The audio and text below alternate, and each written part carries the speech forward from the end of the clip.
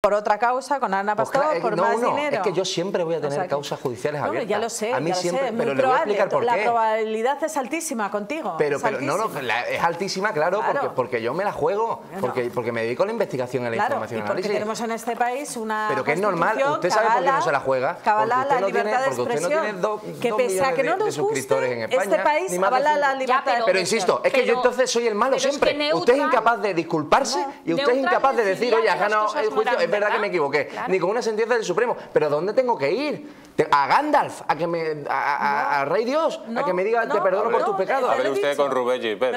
Claro.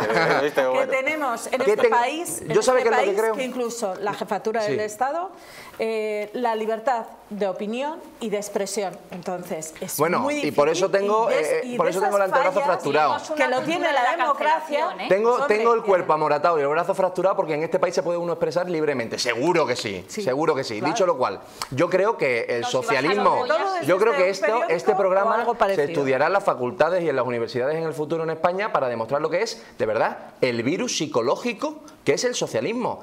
Que es lo que usted está Hombre, demostrando hoy aquí. Eso es un la de un virus. virus. Señores, Vamos, espectadores, hombre, venga. tengan cuidado porque de la Zika. si ustedes no hablan a sus De la hijos de política, vendrá alguien de izquierda a hablar por, por claro. usted. O Tengan sea, cuidado el porque es un pluralismo virus político es un virus para el señor Y usted puede ver hoy en este programa el la pluralismo enfermedad político mental que eso es. Y la democracia es un virus para el señor No, no, la pluralismo y la Hombre, democracia no. Pobre Trevijano, si lo oyera que encima estuviera Bueno, una socialista defendiendo a. Trevijano, esto es maravilloso. Obvio. Esto es apoteósico. partido político